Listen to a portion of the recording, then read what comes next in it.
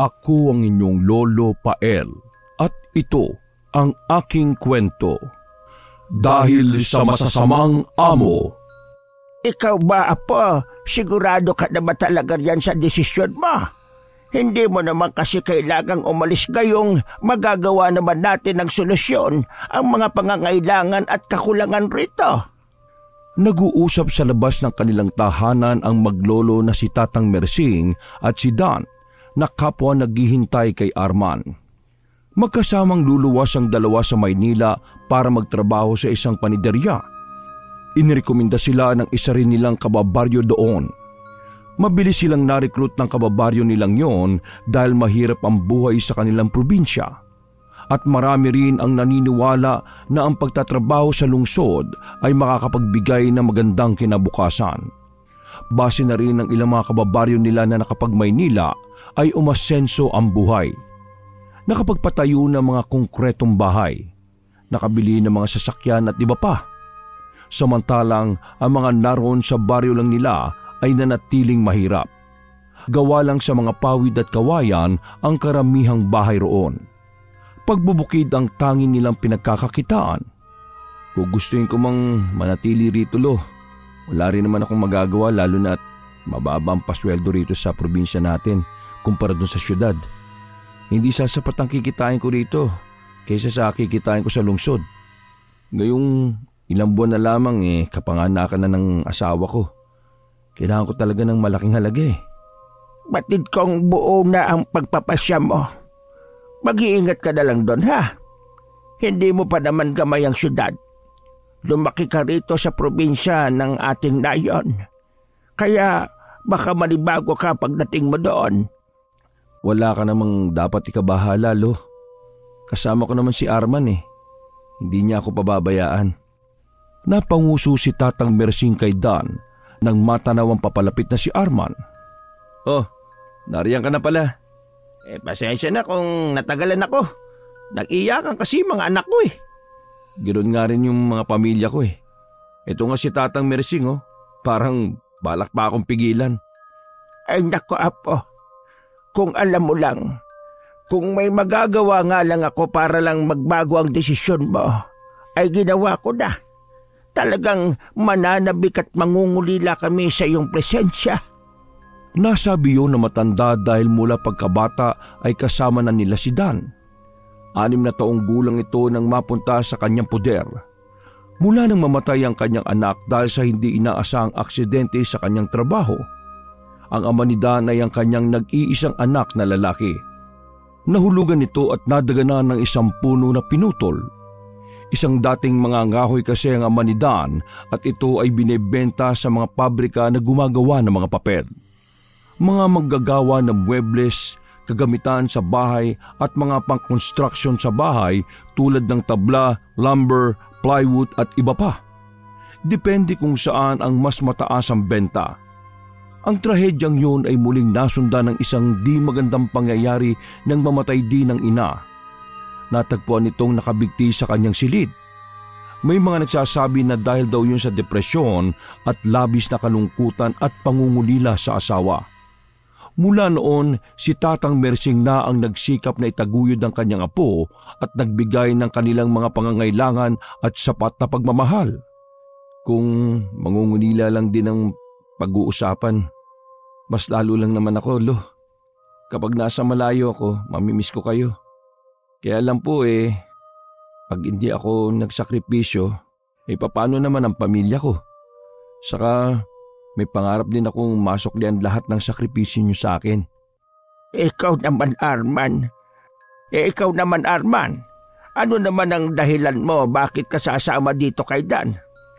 Ay nako, tatang. Talagang gusto ko na rin talagang umalis dito sa atin eh. Kasi naman, sawang-sawa na ako sa mga tao dito. Ewan ko ba kung bakit sa lahat ng mga tao dito eh, ako pa talagang punteriya ng mainit nilang mga mata. Ang sarap pagpapatulan eh. Dalawang buwan na rin ang nakakaraan nang kumalat ang bali-balita na may aswang sanayon nila Dan. Nagsimula ang mainit na usaping yon nang sunod-sunod na natagpuan ang mga patay na alagang hayop. Paniniwala ng mga tao na di pangkaraniwang hayop o tao ang may gawa noon. dahil labis na karumal-dumal ang sinapit ng mga ito. Ang mga kambing at mga manok ang kalimitang puntirya at natagpo ang said ang mga dugo at wala ng laman loob. Dahil sa kakaibang klase ng mga pagpatay ay nakabuo ng isang kwento ang mga tao sa barangay. Sabi nila ay aswang ang may kagagawa nun. Mas lalong tumibay ang akalang yon nang minsang isang tao ang naging biktima. Natagpuan nila ang isang dalaga na patay at itinapon sa may ilog. May malalim na kalmot ito sa katawan. Putok ang labi at may mga pasa sa braso at hita. Kapansin-pansin din na nawawala ang atay at puso nito. Nagsimula ang alingasngas ng may isang tao sa baryong yon ang umano'y nakakita sa nanay ni Arman na nakahubo at hubad sa ilalim ng madilim at liblib na parte sa kanilang lugar. Nakita daw niya na kinakain nito ang isang buhay na manok. Ay nako, pinapansin mo pa yung mga yon, mga walang magawain sa buhay. Mabuti, di ka natatakot sa akin. At bakit naman ako matatakot? Bakit? Aswang ka ba talaga? Kung totoong aswang ako, uunahin kong kainin yung taong nagpapakalat na aswang kami. Eh naniniwala ako sa'yo. Alam ko naman na gawa-gawa lang yung ibinibintang nila sa'yo eh. At sa pamilya mo. Mabuti ka pa Dan. Nagagawa mo pang maniwala sa akin eh. Habang ang mga kapitbahay natin, wala nang ibang ginawa kundi ang magkalat ng mga walang katuturang balita. Nababahira na ng hindi magandang imahe yung aming reputasyon ng dahil sa kanilang ginagawa eh. Kinatatakutan at pinandidirihan na kami. Wala na kaming mukhang ihaharap sa mga tao. Eh tulad nga ng sabi ko kanina, hayaan mo na. Huwag ka na lang magpa-apekto. Kilala mo naman ang sarili mo eh. At alam mong hindi totoo yung mga paratang nila sa inyo. Eh makailang ulit ko nang ipinapaliwanag na wala sa wisyo yung ina ko. Hindi siya gaya ng nasa tamang pag-iisip. Pero makita ang utak ng mga kabarangay natin eh. Pilit kong ipinapaintindi ang totoong kalagayan ni nanay. Pero ipinipilit pa rin nila yung gusto nilang ipilit. Ay nako, naway sa pagalis natin sa mga bahay natin eh, tantanan na nila ang pamilya mo. Eh sana nga, at nang matahimik na. Nakakasawa na yung ganitong klase ng buhay eh. Oh, Sasha, tama na yung malalim yung pag-uusap. Saka nyo na lamang yan ipagpatuloy kapag nasa biyahe na kayo. Mabuti pa eh, humayo na muna kayo. At baka maiwan kayo ng inyong sasakyang barko. Uh, oo nga po. Lo, ko na po munang bahala sa magina ko ha. Bagamat parehas na buo na ang loob ng dalawa, ay hindi pa rin nila maiwasan ang kabahan lalo na at parehas silang unang beses na mapapadpad sa lungsod. Halos parehas din sila na sanay lamang sa pagkukukutkot ng lupa, pagtatanim at pag-aani ng gulay. At isa pa nga na pinag-aalala lalo na ni Dan ay ang kanyang pamilya. Pero dahil kasama naman ng mga yon ng kanyang lolo Mersing ay alam niyang magiging ayos lamang ang kanyang pamilya. Ako na ang bahala sa lahat. Sige na, mag-iingat kayo. Mauna na po kami, Lo. Alis na po kami. Sige, kaawaan kayo ng Diyos mga anak. Bakas ang pag-aalala sa mukha ni Tatang Mersing habang tinatanaw ang apo na nakasakay sa tricycle. Huling beses pang kumaway si Dan sa matanda. Habang papalayo ng papalayo ang sinasakyan ng apo, mas tila sumisidhi ang kalungkutan. Nararamdaman ng matanda ganun din si Dan. Naunawaan ni Dan na hindi madali ang kanyang kahaharapin sa kanyang pagsusubok ng kapalaran sa ibang lugar. Malayo ang paraan ng pamumuhay sa syudad kumpara sa kanyang kinagisnan sa probinsya, kung kaya habang nasa biyahe, hinahanda na nito ang sarili sa hinaharap. May problema ba, Dan? Napansin ni Arman ang sunod-sunod na pagbuntong hininga ni Dan. Nakakit na sila ng barko at anumang oras lalarga na ito. Parehong nakasandal ang dalawa sa rehas ng barko habang tinatanaw ang malawak at asul na kargatan. Kinakabahan ako pare. At bakit ka naman kakabahan? Takot ka ba sumakay ng barko? Hindi yun. E ano kinakabahan mo? Basta, di ko alam. Sari-sari yung nararamdaman ko eh. Ako naman eh excited kasi matutupad na yung pangarap ko mula pagkabata. Alam mo bang mula noon eh gustong gusto ko na talaga makapunta sa Maynila. Eh totoo nga kayang yayaman tayo sa Maynila. Totoo naman siguro kasi tingnan mo yung isang kapitbahay natin. Di ba, hindi naman siya dating mayaman bago nagpunta ng Maynila. Pero tingnan mo, nakapundar ng bahay at mga lupa. Yun din ang gusto ko sa pamilya ko. Magkaroon kami ng magandang bahay. Kaya nga, nakakasawa na rin mabuhay bilang isang mahirap eh, di ba? Kaso yun nga, nakakalungkot din talagang malayo sa pamilya. Kung bakit kasi di pata sa mundo eh. Sana eh, wala na lang mayaman at wala na rin mahirap. Lahat pantay-pantay. Ay nako, bago pa tayo mag-iyakan at malungkot dito, mabuti pang magpahinga muna tayo. Naglakad ang dalawa patungo sa kanilang higaan. Tama, nakakapagod din ang bumiyahe. Alauna ng hapon ng alis ng barko mula sa probinsya at bukas ayon sa kanilang tiket na kinuha ay alas 12 ng tanghali ang dating nila sa Manila. Pinaghalong pananabik at lungkot ang nararamdaman ng dalawa habang naglalakbay. Nang kinagabihan nga ay hindi pa nakatulog ang mga ito at tanging pagpapahangin lamang ang ginawa. Kung kaya nang tuluyang makarating wala nang sapat na lakas Dumiretso na agad sila dan sa lugar kung saan sila magtatrabaho. Wala silang naging sapat na tulog.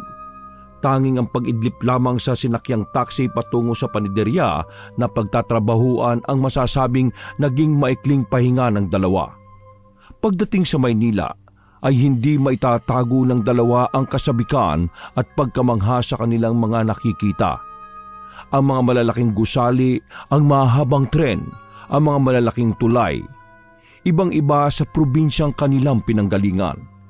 Ngunit ang kasabikang yon ay napalitan ng pag-aalala nang marating nila ang address na ibinigay ng kanilang kababaryo. Pareha silang nabigla dahil ang inaakala nilang malaking paniderya ay maliit lang pala. Kakaunti rin ang mga tinapay na nakadisplay sa babasaging cabinet. Napakalayo ng deskripsyon ng kaibigan ni Dan na siyang nagpasok sa kanya sa ganoong trabaho. Sigurado ka bang dito yung tinutukoy ni Roy na paniderya? Ito yung nakalagay sa address eh. Eh parang palugi na tong tindahan na to ah. Tingnan mo, oh, halos wala ng paninda. Eh mas maganda pa yung mga paninderya na binibilang ko ng pandesal sa bayan natin eh. eh ano ka ba? Baka mabilis lang maubos yung mga paninda nila. Di ba nga, dalawa ang kailangan nilang trabador kaya siguradong malakas ang tindahang ito. Nagkatinginan ng dalawang lalaki sa isa't isa bago muling ibinalik ang atensyon sa pagmamasid sa maliit na paniderya sa gilid ng isang maruming iskinita. Kalaunan lumabas mula sa loob ng tinapayan ang isang pares ng tao na sa tansya ni Dan ay nasa 40 anyos habang ang siya naman ay nasa 50 anyos na. Mabilis na nahinuha ni Dan na maaring ang babaeng mataba at maraming uban ay si Madam Gina na siyang nagsisilbing tagapamahala ng tinapayan. Habang ang payat namang lalaki ay si Renante na asawa nito at katuwang sa negosyo. Yun ay base lamang sa salaysay ng kaibigan ni Dan na nagrekomenda sa kanya sa trabaho. Hinintay nilang lumapit ang mga ito sa kanila. Hoy, kayong dalawa, bibili ba kayo ano? Bawal ang tambay dito sa tindahan ko. Um, nako, hindi po kami tambay. Kami po yung galing sa probinsya na inirekomenda po ni Roy. Tiningnan sila na matabang babae mula ulo hanggang paa. Nakita pang nakataas ang kilay nito at parang nananantya. Sino si Dan sa inyong dalawa? Uh, ako ho.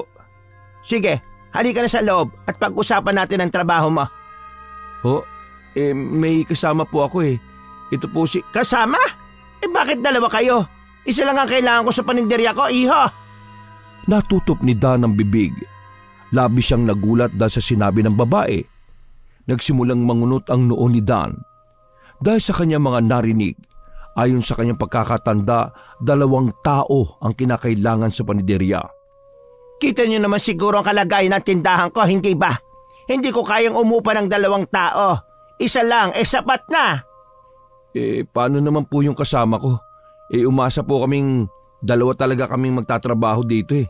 Dahil yung pong sinabi sa amin ni Roy. Isa nga lang ang sinabi ko sa kanya. Ang sabihin mo, modus nyo yan para makarating kayo rito sa Maynila. Takot ka mag-isa kaya nagsama ka ng kaibigan mo. Tama ako o mali? Sanay na sanay na ako dyan, ano? Mga probinsyano talaga kayo. Napapakamot pang sagot nito. Napansin ni Dan na seryoso nga talaga ang kausap. Nakaramdam siya ng kaba para kay Arman dahil nga mukhang totoo ang sinasabi ng ginang. Napatingin si Dan kay Arman. Tahimik lang itong nakatingin sa babae ngunit kapansin-pansin ang pamumula ng mukha. Napansin naman niya na tila seryoso nga ang babae habang sinasabi niya yon. Kaya nabatid niya marahil na totoo ang sinasabi nito. Mahina na lamang siyang napabuntong hininga. Nang subukan niyang lingunin si Arman, tahimik lamang ito. Ngunit baka sa namumulang muka ang namumuong sama ng loob. Um, inuulit ko po. Ang sabi po kasi ng kaibigan kong nagrekomenda sa akin dito sa trabahong to, eh dalawang tao raw ang kailangan. Kung kaya dalawa kami nang lumuwas dito. Manahimik ka nga! Abay, nangangatwira ka pa talaga! Ikaw na nga ang mali eh! Ramdam ni Dan ang inis na bumabalot kay Arman. Bakasyon sa nakakuyom niyang kamao. Maging siya rin naman hindi maiwasang hindi mainis. Bago pa nga lang sila, ngunit simula pa lamang hindi na nila maiwasang makaramdam ng malamig na pakikitungo sa kanilang dalawa. Nanatiling nakatayo lang ang dalawa at nananansya kung aalis na sa lugar na yon. Ngunit nang tatalikod na sana si Arman ay muling nagsalita ang babae. Sandali! Ah, sige na. Payag na akong dito kayo magtrabaho. Total, nandito na rin lang naman kayo. Eh, pagbibigyan ko na kayo. Talaga ho? Tanggap na kaming dalawa? Nako, eh, salamat po, ma'am. Madam, yan ang itawag niyo sa akin. Nakakaintindihan ba tayo? Uh, opo, madam. Uh, yes po, yes po, madam. Siya naman paglabas ni Renante mula sa loob ng tindahan. Talagang sigurado ka ba na tatanggapin mo yung dalawang yan? Biglang natahimik ang dalawa at muling nakaramdam ng kaba dahil mukhang magbabago na naman ang isip ng bagong amo. Sa isip ni Danay mukhang mahirap pakisamahan ng dalawa at mahirap din kunin ng tiwala ng mga ito. Arugante at pakiramdam niya ay walang interes ang lalaki na kunin sila. Napatingin siya kay Arman nang biglang magsalita ito. Kung hindi niyo naman po ako kailangan at hindi po ako tanggap sa trabaho, eh ayos lang. Maghanap na lang ako ng bago at maayos na trabaho. Teka, teka. Anong ibig mo sabihin? Hindi maayos ang trabaho dito sa tindahan ko? Eh, hindi po ganon, madam. Akala mo ba ay madaling maghanap ng trabaho dito sa Maynila? At makakahanap ka ng maayos at magandang trabaho? Ay nako, mga taga-bundok talaga. Baka nga maging pabigat lang kayo dito sa paniderya eh. Ang gusto namin ay trabahador na pulido ang gawa. Hindi yung kukupad-kupad at pinapaira lang mapurol na utak. Minamalit niyo po bang pagiging taga-probinsya namin? Ang mainit na kamay ni Dan ang sumakop sa braso ni Arman nang subukan siyang lingunin ni Arman. Agad niya itong sinenya sana manahimik na lamang at tumingi ng paumanhin sa mga nasabi. Sa huli, Labag man sa loob ay walang nagawa si Arman kundi ang humingi ng tawad. Marahil kung hindi lamang nila kailangan ng pera, baka nga kahit konting salita na paghingi ng tawad ay wala silang mahihita rito. Ah, uh, pasensya na po sa mga nasabi ko. Ah, sige na. Pumasok na kayo sa loob. Renante, pakisamahan sila sa kanilang magiging tulugan. Sige. Tara na dito sa loob. Sumunod kayo sa akin. Sa isang malit na silid sa loob ng paniderya, mamamalagi ang dalawa. May double deck naman. Si Dan sa itaas na parte ng higaan habang sa ibaba naman si Arman. Habang sa kabilang silid naman ay ang mag-asawa na amo ang naroon. Malayo raw kasi ang tahanan ng mga ito kung kaya ay mas madalas na nagpapalipas na lamang sila ng gabi sa paniderya. Sa loob ng silid ay nahiga na ang dalawa Ngunit hindi nila maiwasang hindi pag-usapan ang nangyari. Pre, ayos ka lang ba? Medyo hindi ako komportable pre. Mukhang niloko tayo ni Roy. Kaya mo na. Total eh, natanggap pa rin naman tayong dalawa. Hindi rin ako palagay sa mga amo natin eh. Kaya susugit. Akala mo naman eh, mukhang nakakangat. Eh mukhang mas may kaya pa tayo sa mga yan. Shh! Huwag kang maingay. Baka marinig ka nila. Kung makapamaliit kasi sa mga taga-probinsya, kala mo kung sino. Gulat nga ako sa'yo nung sinagot mo eh. Eh, ang sama ng ugali eh. Kaya bago-bago pa nga lang natin, nagsusungit na. Akala mo naman napakalakit, napakagara ng paniderya nila. Kapiranggot na tinapay lang naman ang laman. Mabuti na lang at kahit labag sa loob mo eh, nakinig ka sa akin. Baka kung hindi ka humingi ng paumanhin eh, sigurado pareho tayong hindi tatanggapin. Eh, naalala na nga lang kita eh. Pero kung talagang hindi ako tatanggapin eh, ayos lang naman sa akin. Pwede naman ako magtrabaho sa iba eh. Yun nga eh. Kaso, paano nga ba tayo makakahanap ng maayos na trabaho dito kung wala tayong diploma at parehas naman tayong high school graduate lang? Sa bagay, ganito pala sa Maynila no? Ibang iba sa inaasahan natin. Kakayanin natin to Arman. Kaya mo, kung di sila magbabago ng pakikitungo sa atin, lalayas tayo. Pero dapat eh, makapag-ipon na lang muna tayo ng pwede natin gamitin pang gastos. Sige, sangayon ako sa iyo pre. Dahil sa pagod ay agad na nakatulog ang dalawa pagkatapos ng kanilang pag-uusap. Batid din nilang kailangan nilang gumising ng maaga dahil ang trabaho sa paniderya ay talagang pang madaling araw na trabaho. Kinabukasan, maaga na ngang naghanda ang dalawa. Si Dan ang naatasang tagamasa ng tinapay samantalang si Arma naman sa pagbebenta. Kakasimula pa lang ng kanilang pagbubukas ay sermo na kagad ang natamo ni Arman dahil sa maling pagsusukli. Ang unang customer ay sobra samantalang isa naman ay kulang ang sukli. Anak nang, hindi ka ba marunong magbilang? Eh, pasensya na po. Medyo nininervyos po kasi ako eh. Lentik. Puro ka pasensya. Ayusin mo yung trabaho mo dyan ha. At baka dahil sa iyo ay malugi pa itong tindahan. Eh, bago lang sa akin yung ganitong trabaho kaya ginagaway ko pa lamang yung sarili ko. Ah, ba't sumasagot ka pa? Sabi ko na nga ba eh, hindi magandang ideya na tanggapin ka talaga dito eh. Pasalamat ka sa asawa ko at pinagbigyan ka ba? Eh, nagpapasalamat naman po ako sa pagkakataong ibinigay nyo. Kaya mo boss, magbubutiin ko yung trabaho ko. Abay dapat lang. Saka pakiusap ah. Hasain mo yung utak mo na medyo mapurol. Sobra naman ho kayo. Ah bakit? May angal ka ba? Ano man tinapos mo? Wala ka naman pinag-aralan, di ba? Nasa talampakan niyang kukote mo. Hindi naman totoo yung sinasabi niyo. Alin ang totoo? Yung kukupad-kupad kang gumalaw tapos palpak? Mabuti pang bumalik ka na lang sa lungga mo, kutong lupa. Baka doon eh, may maayos ka pang magawa. Eh, hindi ko naman po sinasadya eh. Kahit sabi mong hindi mo pa sinasadya, kasalanan mo pa rin. Kakaltas ko yun sa sweldo mo ngayong araw. Kalahati ng sweldo mo ang ibabawas ko dahil sa katangahan mo. Uh, eh, teka, teka. Sobra naman po yata yun. Narinig ni Dan ang sinabi ng among lalaki kaya hindi niya maiwasang silipin kung ano ang nangyayari sa labas. Nakita niyang nakayuko si Arman at nakakuyom ang mga palad na parang anumang oras ay maaari nitong bigyan ng bigwas at suntok ang amo. Namumula na kasi ang tenga nito, tanda na nagpipigil ito ng matinding galit. Dali-daling dinaluhan ni Dan ang kaibigan. Hindi na nga niya kaya pang maatim na minamaliit at inaalipusta lamang ito harap-harapan. Isa ka ba? Bakit ka nandito? Dapat nandun ka sa trabaho mo ah! Uh, pasensya na po sir. Hindi ko po kasi maiwasang hindi po magitna. Gayong nakikita ko sa paraan ng pananalita nyo eh, naalipusta na kami. Natatapakan niyo po yung pagkatao namin eh. Bakit? Ano bang pagkatao ang pinagyayabang mo ha? Sige nga, magtrabaho na kayo. Naiwang nakayuko at tiyang hiya ang dalawang lalaki nang magsimula ng magmarcha palis ang amo ng mga ito. Ayon sa ibang naninilbihan sa mag-asawa ay talagang masama naman talaga ang ugali ng dalawa. Yun ang dahilan kung bakit walang tumatagal na manggagawa sa kanilang paniderya. Pagpasensya mo na lang Arman.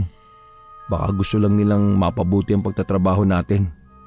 Ay nako, mas mapabuti. Palagay mo ba ang pagmamalit na ginagawa nila eh matatawag na pagpapabuti para sa sarili? Hindi porke amo sila eh, ganyan na sila kung umasta. Oo, tanggap kong hampas lupa tayo, salat sa buhay. Pero nagtatrabaho tayo na maayos. Eh, tama lamang ang pagpapakumbaba. Tayo rin naman ang may kailangan ng trabaho eh. Leche. Grabing pagmamalabis ang ginagawa nila sa atin eh. Gayong alam nila na kailangan-kailangan natin yung trabahong ito. Marahang tinapik ni Dan sa likod si Arman. Sige na, bumalik na lang tayo sa trabaho at mag-focus. Eh, nawawala na ako ng gana magtrabaho. Kahit naman kasi eh, magkayod kalabaw ako, kalating halaga pa rin ang nawala sa sweldo ko ngayong araw. Kung pakiusapan kaya natin ng mga amo natin. Palagay mo ba makikinig ang mga yun? Simulat sa pulang sasama ng ugali? Kung ganun eh, kakausapin ko si Madam Gina at si Renate na sa akin na lang ikaltas ang sana ikakaltas sa sweldo mo. Uy, bakit? Di naman yata patas yung naiisip mo, Dan. Huwag ka na mag-alala, pre. Alam kong mas kailangan mo ang pera sa ngayon para sa graduation ng panganay mo sa probinsya. Naku, pre. Parang nakakaya. Kasalanan ko naman to eh, kaya siguro eh, dapat na maging leksyon ko. Hayaan mo na. Bawi ka na lang sa susunod sa akin. Batid ni Dan na masigit na kailangan nga ni Arma ng sapat na salapi para may maipadala sa pamilya nito dahil sa bonding yun ay gagraduate na ang anak ng kaibigan sa elementarya. Gipit man at kailangan din niya ng pera para sa panganganak ng asawa ay mas pinili niyang damayan ng kaibigan na alam niyang sa mga oras na yon ay tila na paghihinaan na ng loob. Umalik na tayo sa trabaho. Baka masermonan na naman tayo kapag nahuli tayong nag-uusap. Saka malas-malasan naman kasi, bakit dito pa tayo pinasok ni Roy? Pambira talaga yung kaibigan natin na yun, no? Nasaan kaya yun, no? May hindi pa nagpapakita sa atin, ah. Subukan niyo magpakita at bibigwasan ko yung hayop na yun. Napaka-violente mo naman. Galit na galit, gustong manakit.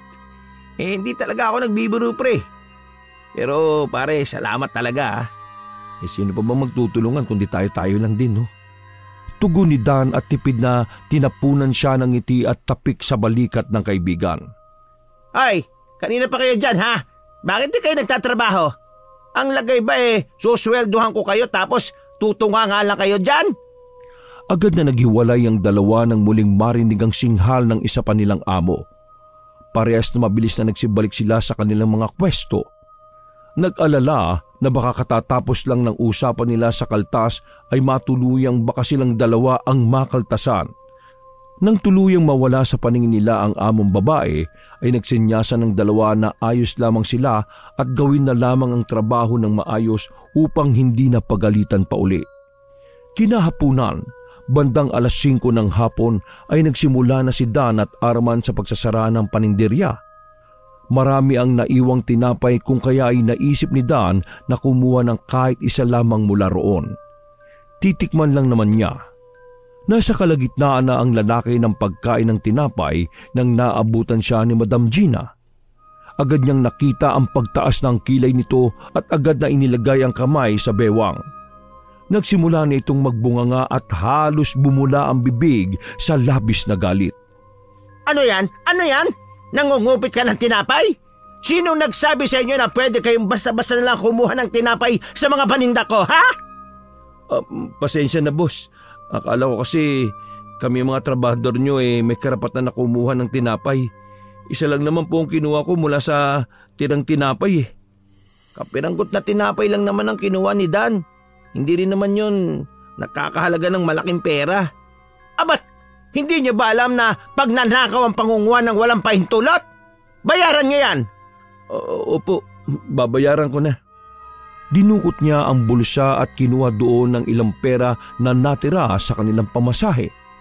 At paano ko nakakasiguro na di galing yan sa kaha ko? Nako, sinasabi ko sa inyo, pinakaayaw ko sa mga empleyado ko ay ang mga magnanakaw, ha? I- hindi naman po ko lumapit sa kaha. Saka hindi ko po ugali magnakaw. Ay dapat lang. Dahil kung mahuli ko kayong nagsasabwatan nitong kasama mo, ay ipapapulis ko kayo. Huwag na maulit to, ha? Nako, sinasabi ko sa inyo, huwag niyong dalhin dito yung kabubuhan niyo sa pinanggalingan niyong probinsya. Grabe naman ho kayo magsalita. Bakit? Nasasaktan ka ba sa katotohanan? Bago pa muling magsalita ang kaibigan ni Don, maigpit na niya itong hinawakan sa braso Uh, pasensya na po, hindi na po mauulit.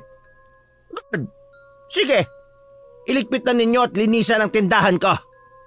Pagkasabi noon ay umalis nang nagdadabog si Madam Gina. Maski nabayaran na ang tinapay ay tila hindi na niya malunok ang naiwang kapiraso.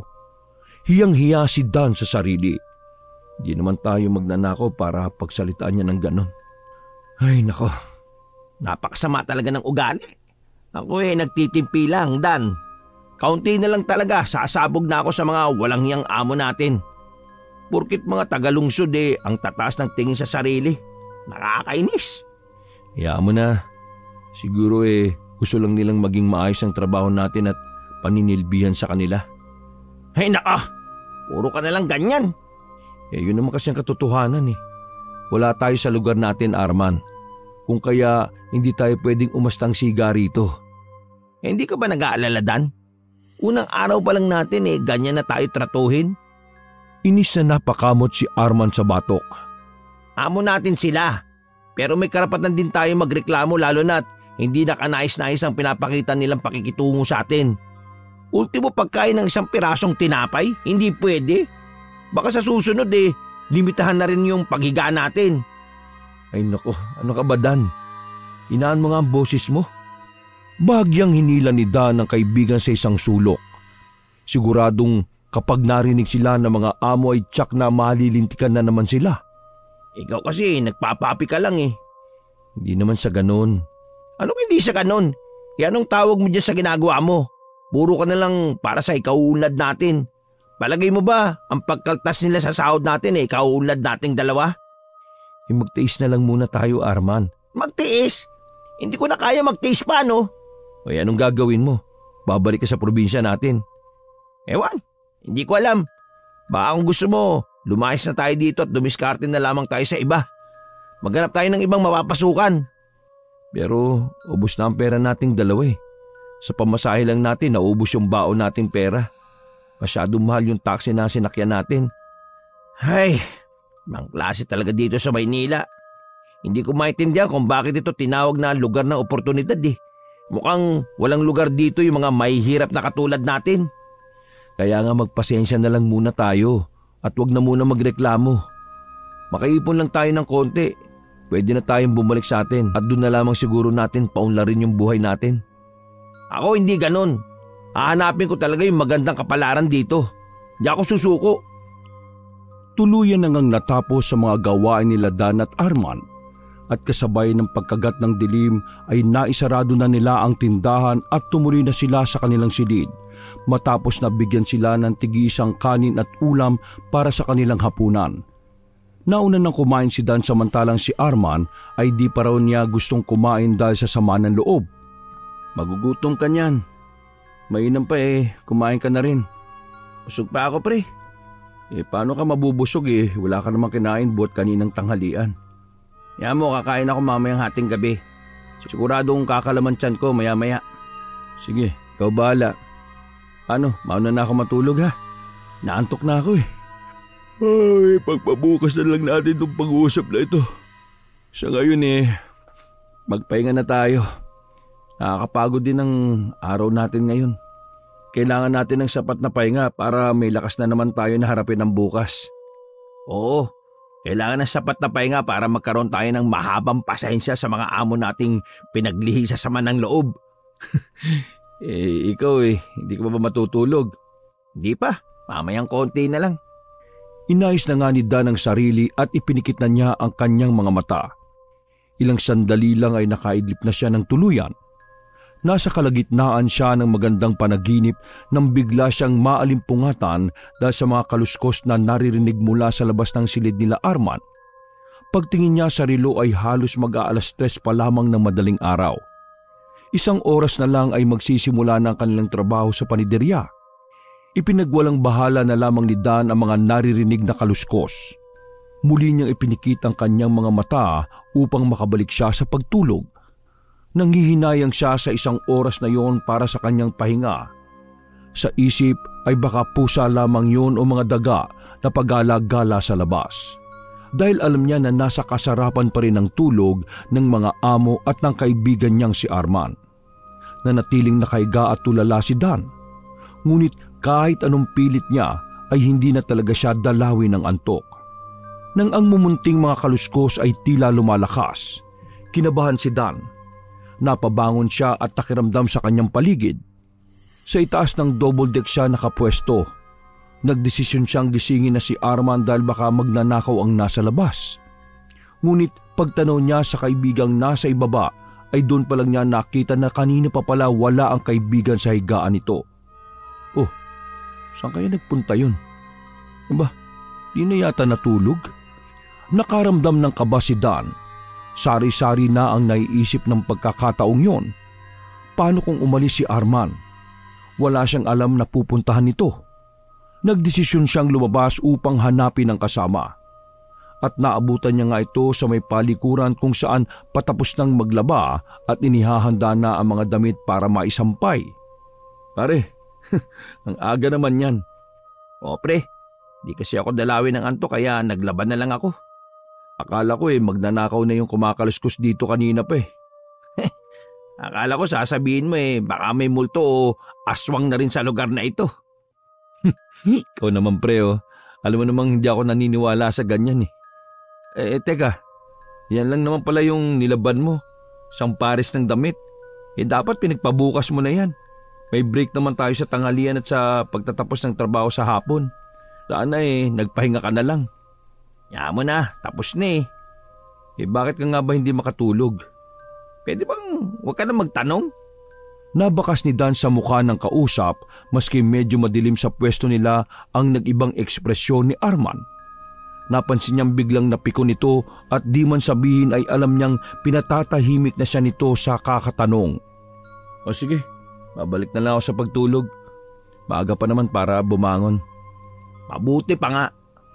Mainit ang ulo ni Arman, ngunit ipinagwalang bahala na lamang yun ni Dan at inisip na baka dahil lamang yun sa puyat at pagod ng kaibigan. Bago umalis ay nakita na niyang nagtuloy na ito sa pagsasampay ng mga damit. Siya naman ay muli nang pumasok sa kwarto at agad na umakyat at nahiga sa double deck.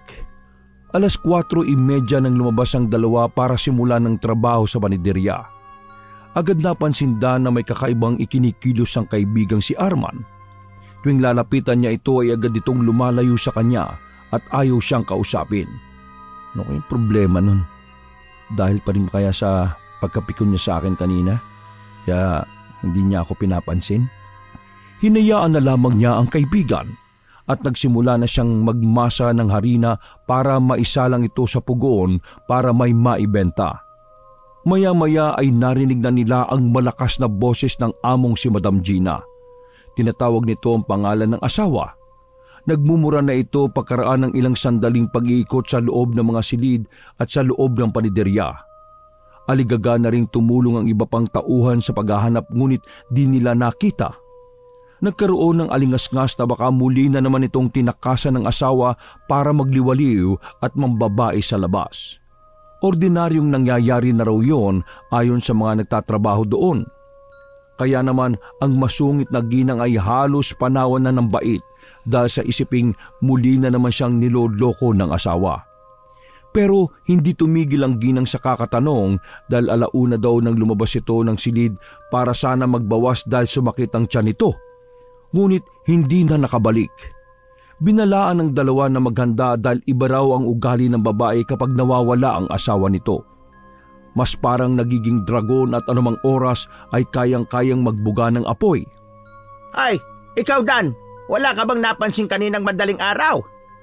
Um, naku, wala po madam. Mm, sarap po ng tulog ko eh.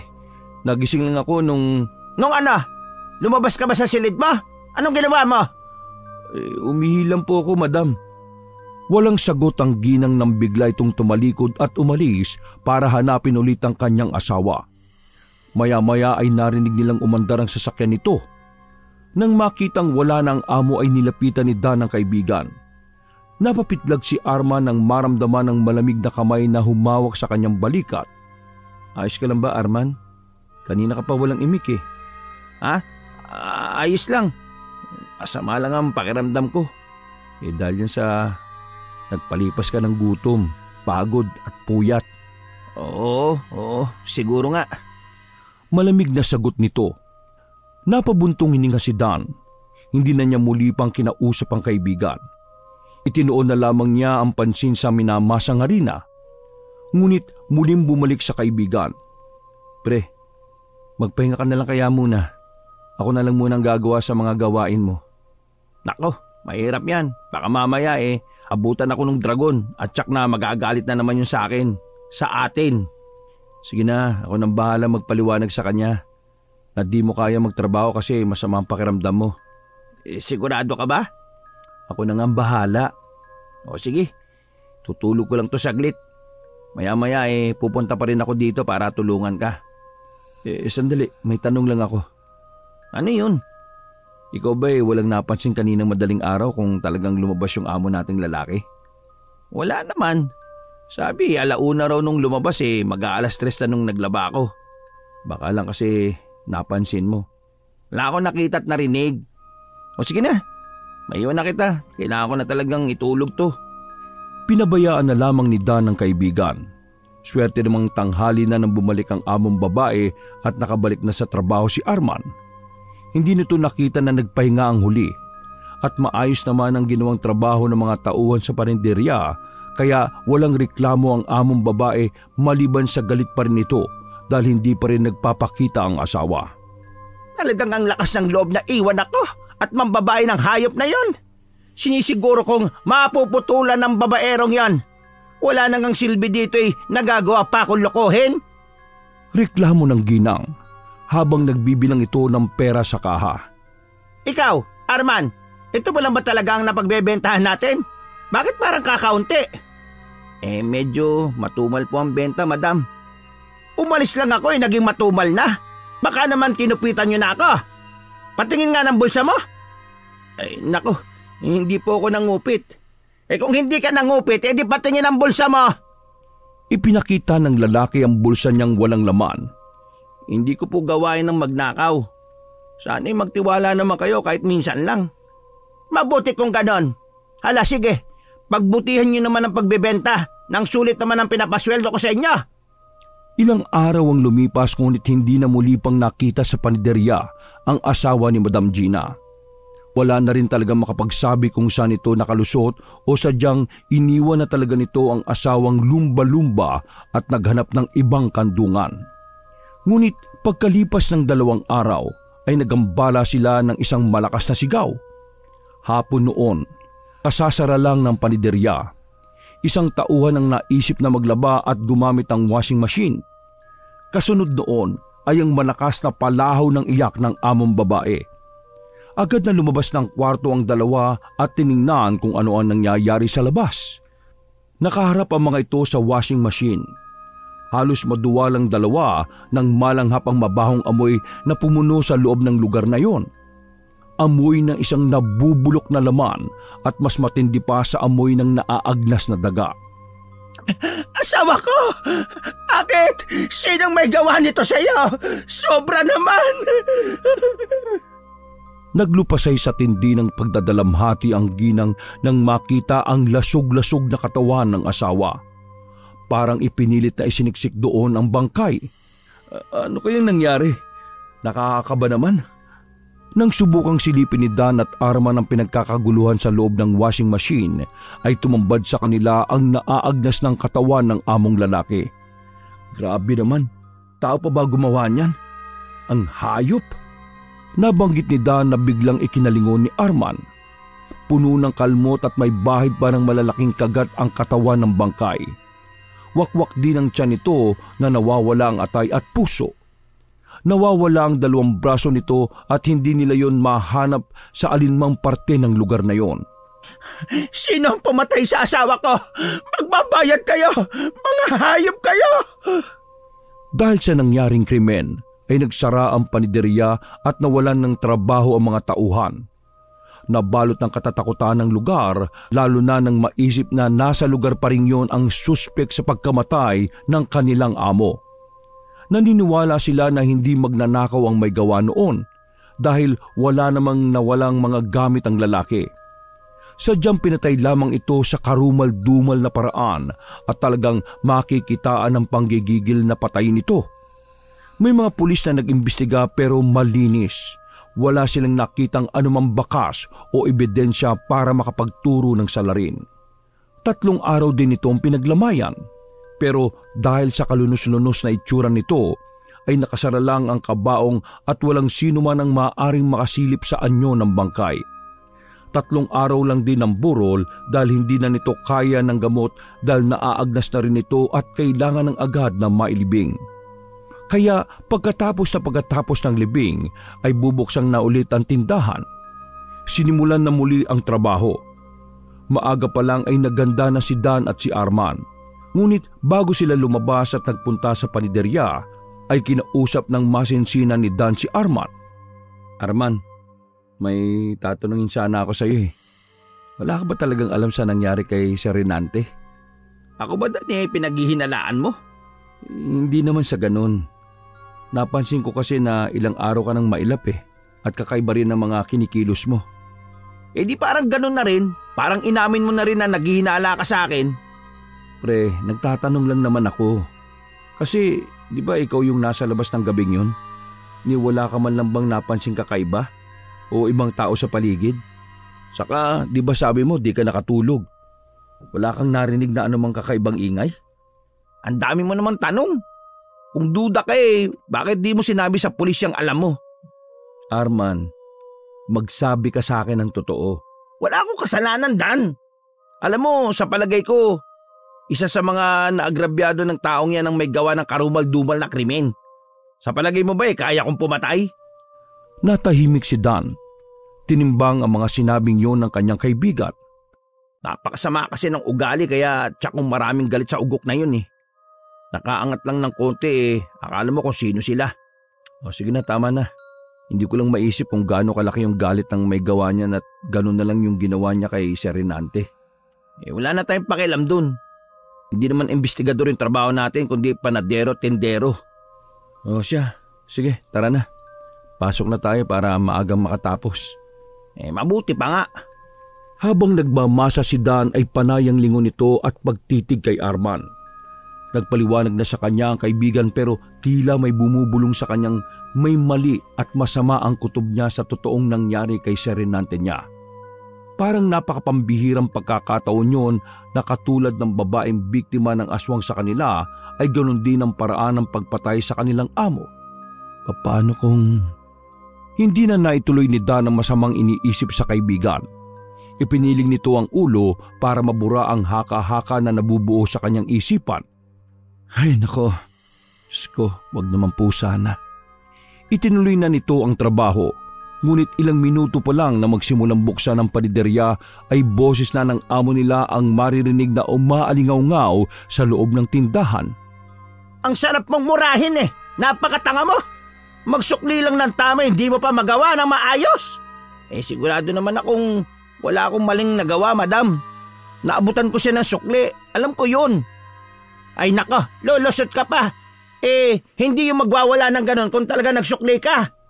Lumang customer na yun eh, ginanon mo. Mawawalan ako ng customer at kita sa'yo, hunghang. Isang matandang customer ang nagreklamo dahil hindi daw sinuklian ni Arman. Galit na galit ito at nag-iskandalo sa harap ng tindahan. Aniya ay isang libo daw ang ibinigay nitong pera pero wala namang ibinigay na sukli. Mari naman itong pinabuluanan ni Arman at sinabing sakto lamang ang ibinayad ng matandang lalaki. Ipinakita nito ang kaha at maging ang kanyang mga bulsa sa amo pero pinanigan ng amo ang customer. Sa kwentong yon ay nagsasabi ng katotohanan si Arman. Sadyang may mga tao lang talaga na tuso para-paraan para makapanlamang sa kapwa. Si Arman, matinding galit at pamamahiya ang nakamit ng lalaki Galit na dinuduro ni Madam Gina si Arman na siyang hindi nagustuhan ng lalaki. Nakuyom nito ang kamao. Baka sa mukha ng lalaki na hindi nito nagustuhan ang ginawa ng amo. Bago pa lumala ang sitwasyon, umawat na si Dan sa kaibigan. Nakakasawa ng magtrabaho sa inyo. Kung hindi lang namin kailangan ng malaking halaga, akala mo ba pagtsatsagaan namin ang nabubulok mong paninderya? Ang kapal ng mukha mo! Ikaw na nga ang tatanga-tanga eh. Ikaw pa ang matapang. Arman, alika na. Bibigyan ko lang ng leksyon tong baboy na to. Pabayaan mo ako. Ano ka ba Arman? Babae yan. Huwag mo nang patulan. Ilayo mo nga yan sa akin, Dan. At nakalibadbaran ako sa walang pinag-aralang yan. Ay nako, napakatonto. Sumusobra ka ng tamatsoy ka ha? Abay bastos. Ngayon din ay lumayas ka dito. Kung hindi ay ipapapulis kita. Ma'am, ako na ho nakikiusap. Huwag naman po. Ikaw, umalis ka na rin. Simula nang dumating kayo dito, puro kamalasan ang nangyayari sa negosyo ko. Namatay pa ang asawa ko. Walang nagawa si Arman nang hilahin siya ni Dan paalis sa lugar. Ngunit bago pa man sila tuluyang lumabas ay sinulyapan pa ni Dan ang galit na kaibigan. Sa galit nito, ramdam niya ang papainit na katawan ng lalaki. Panandalian siyang napatitig sa kaibigan. Sa hindi malamang dahilan ay tila ba napansin nito ang biglang pamumula ng mga mata ni Arman. Matalim na rin ito kung tumitig. Ngunit nang titigan ito ni Dan ay naging pangkaraniwan naman ito at kalmado lang ang kaibigan. Naisip niyang nagkaroon lamang marahil siya ng guni-guni. Ah, tama na pare. Naalis na ako dito pre. Ayoko na. Hindi ko na kayang pagtiisan yung masamang ugali ng amo natin. Ilang beses na niya ako ipinapaya at kinukwestiyon ng kapasidad ng utak ko. Pero paano tayo aalis?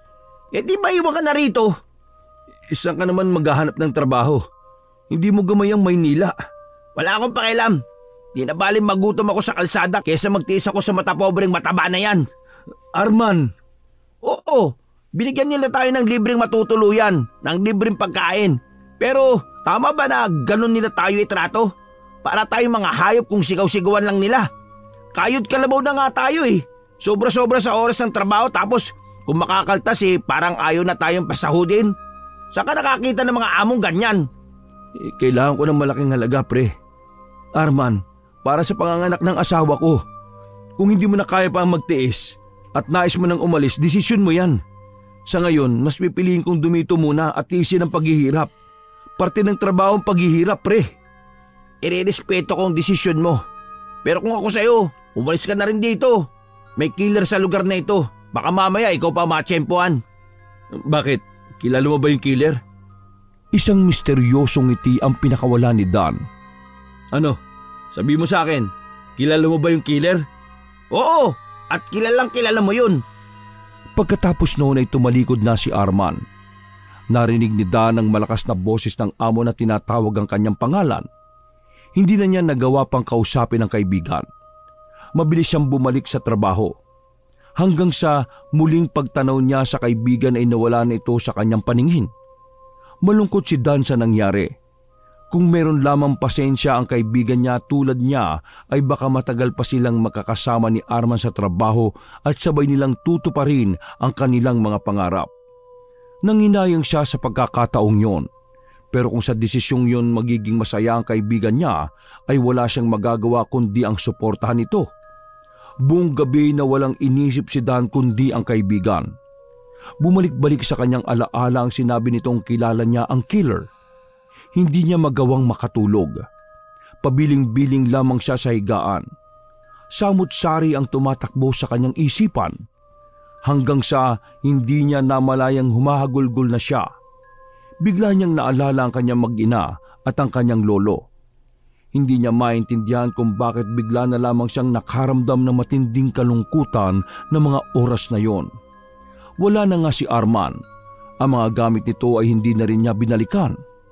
Bumaba siya ng double deck at plano niyang ayusin ang mga gamit ng kaibigan upang kapag nakauwi siya ay dadalhin niya ang mga ito.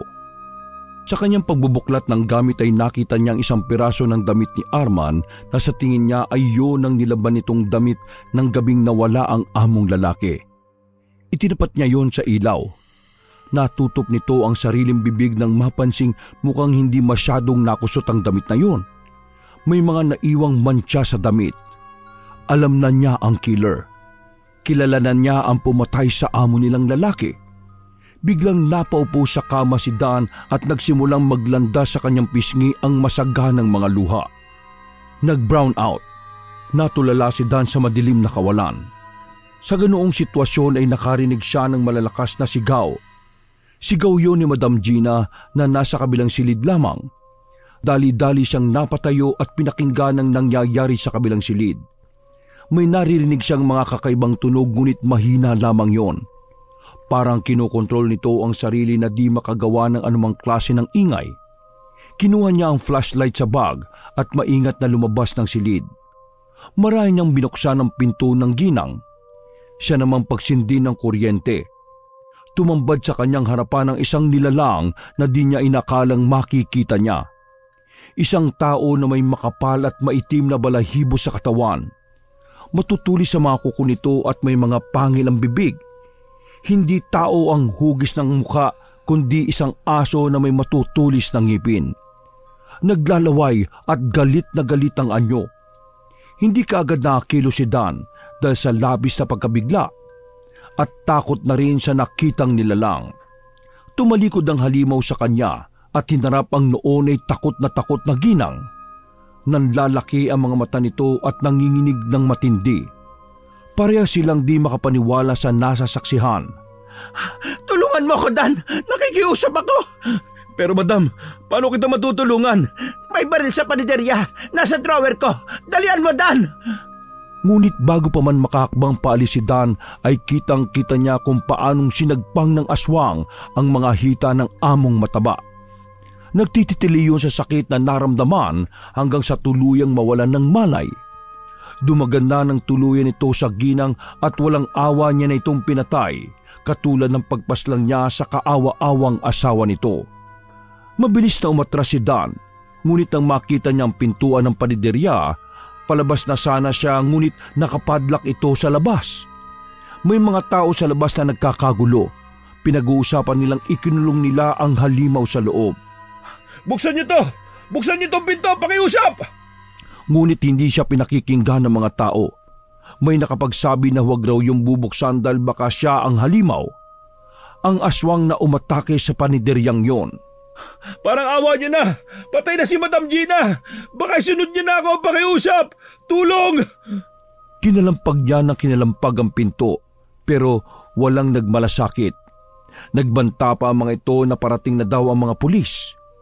Walang nagawa si Dan kundi ang magsumiksik sa loob ng paniderya. Nakita niya ang drawer na sinasabi ng amo pero hindi niya mabuksan ito dahil sa padlock. Nagdasal siya na nagdasal na sana ay matapos na ang gabing yon. Lumuha siya ng tahimik ng alalahanin ng kanyang mag-iina at lolo na naiwan sa probinsya. Hindi niya matanggap na sa ganoong paraan siya mamamatay at maging hapunan ng isang aswang. Umalingasaw ang masangsang at napakabahong amoy sa loob ng paniderya. May mga kaluskos na papalapit. Nalamig ang buong katawan ni Dan dahil alam niyang pupunta na sa kanya ang aswang. Dahan-dang ibinukas ng nilalang na yun ang pinto. Pumikit si Dan. Dan, pre, Arman, ikaw? Tumango si Arman at yumuko. Mabilis nitong pinunasan ng dugo sa kanyang mga labi. Totoo nga ang sinabi ng mga kababaryo natin tungkol sa inyong pamilya. Pero paano nangyari yon Arman? Magkababata tayo. Ayoko naman talaga nito, Dan eh. Pero pinilit lang nila ako. Hindi ko gusto maging aswang.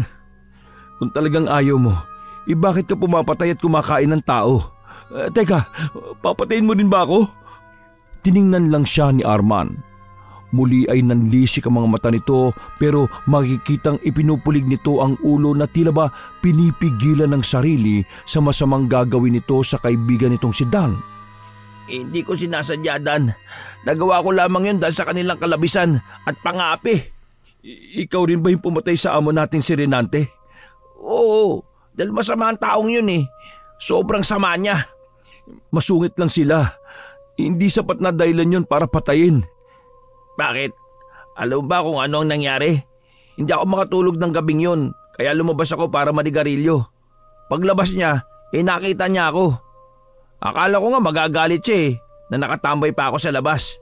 Pero hindi pala yun ang sadya niya sa akin. Ha? Uh, anong ginawa niya sa'yo? Muntikan niya akong pagsamantalaan, pre. Bakla yung hayop na yun. Gusto niya akong piliting gawin ng isang mahalay na gawain. Pero kaya mo naman lumaban ah. Hindi sana tinawag mo na lang ako. May baril siya, Dan. Hindi ko gugustuhin pati ikaw ay masaktan at madamay sa sitwasyong yun. Kaibigan kita. Eh, kaibigan nga ba kita? Arman, nakikiusap ako sa iyo. Sumuko ka na. Hindi mo dapat ginawa yon. Ano ba dapat ang ginawa ko? Sobra na sila eh. Ang mga taong ganon, eh di na dapat binubuhay. Sa baryo natin, sawang-sawa na ako sa pangalipusta at pandidiri sa amin ng tao. Kaya ako umalis dun eh, di ba? Tapos ganito yung daratang ko dito. Walang tigil ang pamamahiya nila at panliliit sa akin. Sa'yo? Sana pre, nakinig ka na lang sa akin para wala tayong naging problemang ganito. Arman pakiusap. Tama na, sumuko ka na. ano akala mo sa akin? Makitid talaga ang kokote? Hindi ako magpapahuli. Dahil kahit mahuli man nila ako, iisa-isahin ko sila. Papatayin ko silang lahat. At ikaw? Huwag pre, parang awa mo na. Huwag mo ko sasaktan. Kawawa pamilya ko. Pero hindi pwedeng maisuwalat ang tungkol sa akin eh. Kailangan kong protekta ng pamilya ko mula sa mga mapanghusgan tao. Wala akong kasalanan sa iyo, pre. Wag! Muling nagbagong anyo ni Arman. Napasugod na ito kay Dan ngunit bumangon siya para ipagtanggol ang sarili. Alam niya at ramdam niyang mas malakas sa kanya ang kaibigan pero pinilit nitong makaligtas alang-alang sa kanyang pamilya. Isang malakas na suntok sa sikmura ang ginawa ni Dan. Ngunit hindi yun ininda ng aswang. Dali-dali siyang nagpunta sa kanyang pwesto kung saan nagmamasa ng harina. Mabilis siyang nag-isip ng paraan para itaboy ang kalaban. Alam niyang maraming asin sa lugar na yon. Pero sa di lamang dahilan ay nawawala ang mga sako-sakong asin. Lintik na, nasan ba yung mga yun? Isang malakas na halakak ang pinakawalan ni Arman nang makita ang mga namumuong pawi sa noo ng kaibigan. Natatakot ka ba, Dan? Mabilis lang naman ito. Di mo masyadong mararamdaman. Hayop ka. Tumigil ka na. Pati kaibigan mo tataluhin mo. Ako lang arma ng kaysa isang tao sa baryo na naniniwala sa iyo na malinis ka sa mga dumi na ibinabato nila sa buong pamilya mo. Pero bakit? Bakit pati ako? Nang lumapit ang aswang ay binigyan niya ito ng isang malakas na bigwas. Tinumaan ito sa sikmura na agad niyang ikinaupo. Mabilis na kumuha si Dan ng tali dahil balak niyang talian ng kaibigan upang di na ito makapanakit. Narinig na niya sa labas ang sirena ng mga pulis. Ngunit bago pa man niya makuha ang tali na nakita ay naramdaman niyang bumaon sa kanyang likod ang isang matalim na bagay. Nilingon niya si Arman. Nasa likod niya ang kaibigan. Nakangisi at parang tuwang-tuwa nang makita ang rumihistro sa mukha mula sa sakit na naramdaman. Muli nitong kinalmot ang likod ni Dan na nagpahiyaw dito. Ah! Wag!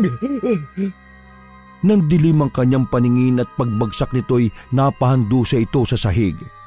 Dumaloy ang dugo mula sa kanyang mga sugat. Nalalasan na rin niya ang dugo na lumalabas mula sa kanyang bibig. Naisip niyang yun na ang kanyang katapusan. Sumagi din sa isip ni Dan na kung hindi dahil sa masasamang amo ay hindi mapipilitan si Arma na gawin ang masamang bagay na yon kung sana'y mas naging maayos ang naging kalagayan nila sa Maynila ay hindi pa dapat doon matatapos ang kanyang buhay. Tinanggap na niya ang kamatayan. Ngunit bago pa man siya tuluyang igupo ng pangihina ay nakita niyang nilapitan siya ni Arman at hinaplos-saplos ang kanyang pisngi. Yun na ang huling natandaan ni Dan. Bago niya makita ang sarili sa isang kwartong purong puti ang makikita. Nakita niyang nakamukmok sa tabi ng kanyang higaan ng kanyang tatang Mersing at ang maramdaman nito ang bagyang paggalaw ni Dan ay umayos ito ng upo at nakita niyang gising na nga ang apo. Makikita ang labis na kasiyahan sa mukha ng matanda dahil ayon sa mga doktor ang paggising nito ay tanda ng kanyang kaligtasan laban sa kamatayan. Uh, tatang? Uh, huwag ka na munang magsasalita. Tatawagin ko lang ang doktora para matingnan ka. Tumayo ang matanda para tumawag ng doktor. Napalingon si Dan sa isang maliit na krusipihong nakasabit sa dingding ng kwartong kinalalagyan niya. Napapikit siya kasabay ng kanyang pag-usal ng isang maikling panalangin at pasasalamat sa kanyang pagkakaligtas. Nang matingnan siya ng mga doktor ay sinabing maayos na ang kalagayan niya. Kinakailangan lamang na obserba nito at mabigyan pa ng ibang gamot para sa mabilisan na paggaling. Sa kanyang paggising na yon ay hindi lamang pala ang tatang mersing niya ang naghihintay. Nakaabang din ang mga pulis para siya ay makausap. Hindi ko alam kung sino yung sumalakay sa amin. Nakamaskara yung tao at hindi ko nakilala. Sabi niya sa mga pulis. Hindi naman na siya kinulit ng mga ito dahil alam nila na hindi siya ang salarin sa pagpatay dahil naging biktima din siya ng totoong killer. Pinili niyang di sabihin ng totoo dahil alam niyang mas lalong magiging magulo ang investigasyon kung sasabihin niyang aswang ang may gawa ng pagpatay. Dahil alam niya marami sa mga tao ang di maniniwala tungkol sa mga aswang. Hindi rin niya isinuplong si Arman dahil nais niyang bigyan ito ng kalayaan at magbagong buhay kasama ang kanyang pamilya. Pagkaalis ng mga pulis ay tumabi sa kanya ang kanyang tatang.